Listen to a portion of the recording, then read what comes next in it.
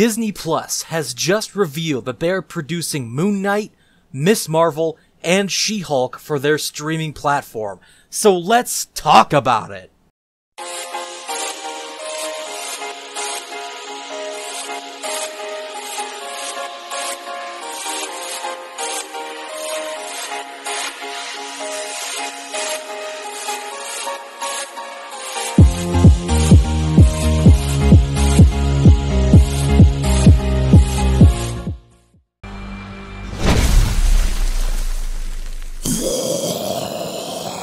What's going on guys? Jeremy Bandicoot here, back with another video, and it's a little different than what I usually make. I usually make video game content.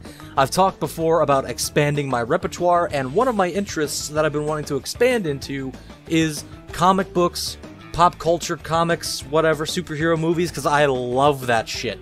And I just saw that Disney Plus has revealed Moon Knight, Miss Marvel, and She-Hulk for their lineup. Oh my god, this is amazing! Is there nothing that the mouse can't do? I mean, we all know that they're a greedy company. We all know that they run the world.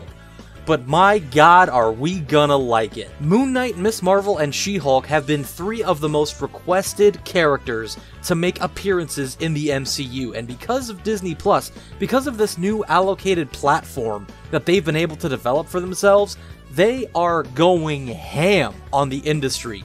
And you gotta wonder where Netflix is gonna be when this all happens because Disney Plus is literally going all out with this crap. They're literally pumping content, content that we want, and pulling everything they have from Netflix, literally leaving them like a skeleton horse. And they're over there like Jabba the Hutt, just give me more money. You know what I mean? I'm getting off topic, but this is truly an exciting time for people who love comic books and love superhero movies and love everything about them.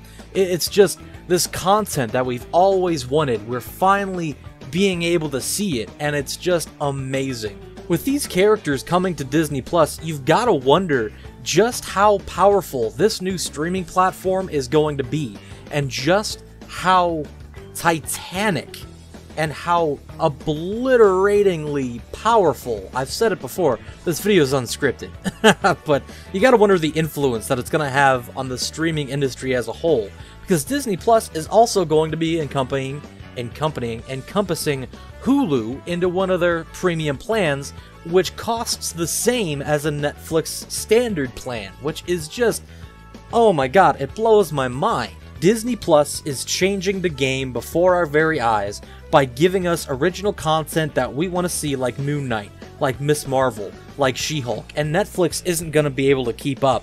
I fear that this is the end of the glory days for Netflix, and Disney Plus is just going to keep running the world, and Disney is just going to take all of our money, and the House of Mouse is going to encompass the entire Earth in about 10 years, which is just, I mean, ugh.